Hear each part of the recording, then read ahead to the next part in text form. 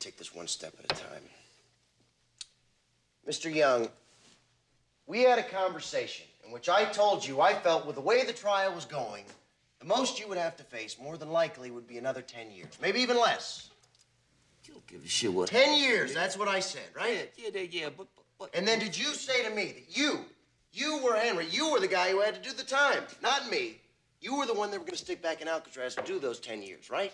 That, that, that, that's what I told you. That's what I'm telling you now. Why you doing this to me? Because, Mr. Young, if you change your plea to guilty, they will execute you. You will die. So fucking what? I'd rather die than go back there.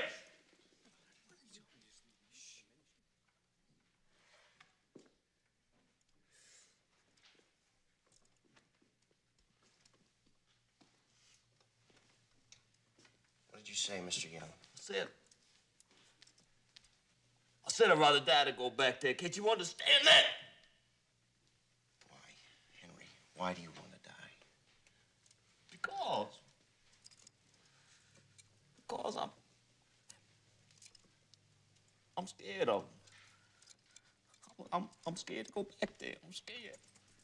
I'm scared. I'm scared. Objection, Your Honor. He's finished. I haven't finished anything. Henry, Henry, look at me. Henry, look at me. Look at me.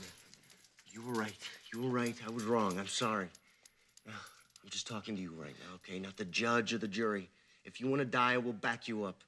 But I swear to God, I will fight these bastards. They will never be able to do this to anyone again. You are not going to die for nothing. The choice is yours, Henry. What do you want to do?